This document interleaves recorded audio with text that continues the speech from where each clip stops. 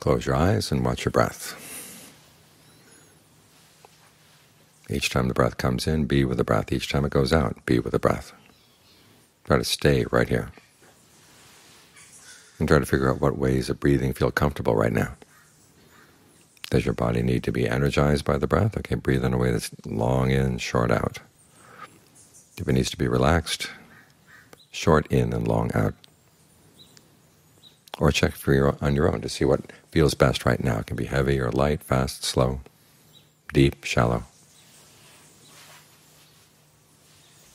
Try to make a survey of what the body needs at the moment. Be here in the present moment. Watch the present moment. And as for any thoughts that go outside about your responsibilities, say you don't need those right now. You need to be responsible right here.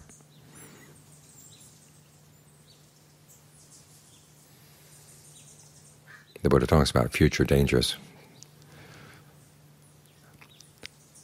He tells the monks, you know, death could come at any time, social unrest could come, a split in the Sangha. All kinds of things could happen in the future. And the question is how are you're going to pre prepare. Well, the best way to prepare is to get your mind in good shape, because you don't know the details of how things are going to be difficult.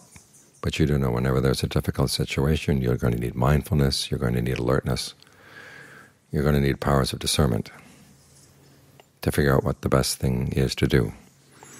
And so you can develop those things right now. In fact, when you're with the breath, that's mindfulness, reminding yourself to stay with the breath, not to go away. Alertness is when you actually watch the breath and watch the impact that your concentration has on the breath, on the mind. Is the way you're focusing on the breath good, or is it could it be changed? This brings in your discernment as to what you really need right now, what's the best thing right now. When you sharpen these abilities, when you strengthen these abilities, then you're ready for just about anything that comes. There are too many times when we prepare for the future, thinking, well, it's got to be this way, it's going to have to be that way, I'm going to have to prepare this and that, and the future turns out to be something else entirely. In that case, the preparations are, are a waste. But if you prepare yourself in a more general way, that okay, these are the skills you're going to need to be able to think quickly and see things clearly, that way you're ready for anything. So when you're sitting down with the breath and the mindset that you've got to think about this, think about that, and say, wait a minute, first I've got to get the mind in good shape, then we'll think. Then we'll plan.